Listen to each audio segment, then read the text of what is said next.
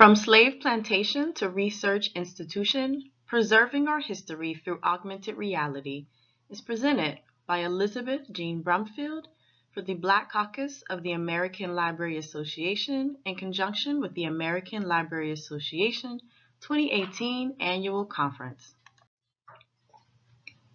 History is something students should do, not something they should consume, and using augmented reality as a medium can get a new and attractive look to the teaching of history.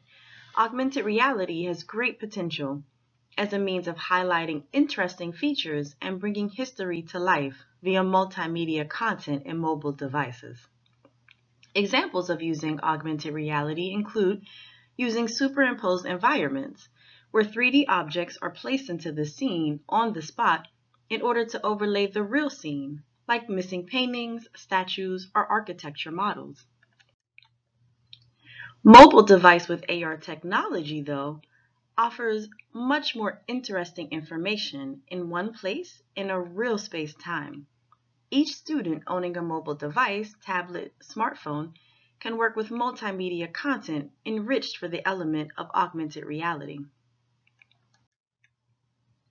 For the ALA conference, archived images of the PVAMU marching band, the nursing school, the engineering department are superimposed with video on the history and updates on the university.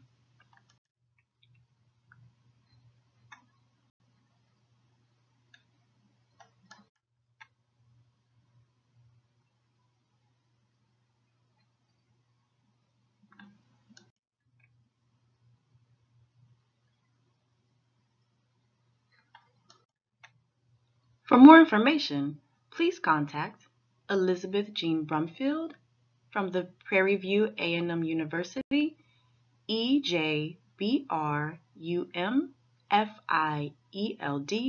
at pvamu.edu.